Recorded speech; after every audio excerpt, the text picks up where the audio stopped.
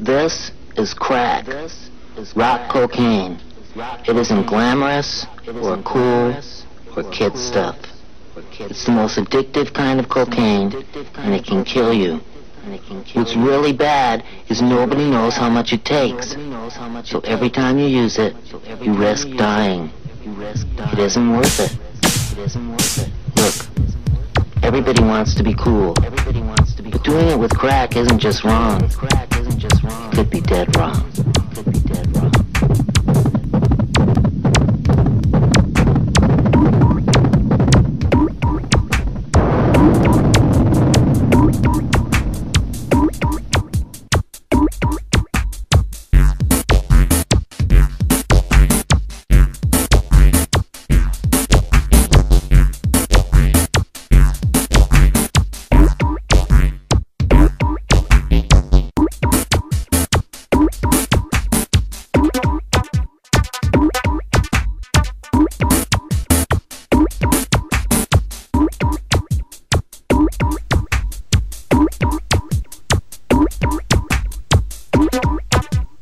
Drug was administered in a drink of water given at the start of each day's exercise.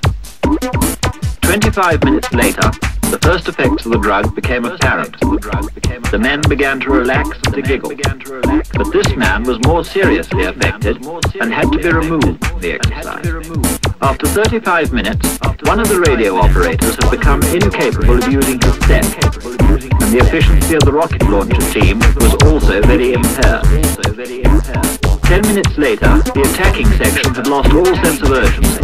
Notice the bunching and indecision as they enter a wood occupied by the enemy.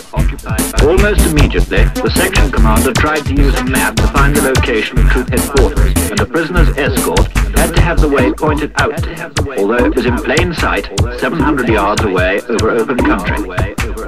Fifty minutes after taking the drug, radio communication had become difficult, if not impossible, but the men are still capable of sustained physical effort. However, constructive action was still attempted by those retaining a sense of responsibility, in spite of physical symptoms. At one hour and ten minutes after taking the drug, with one man climbing a tree to feed the birds, the troop commander gave up, admitting that he could no longer control himself or his men.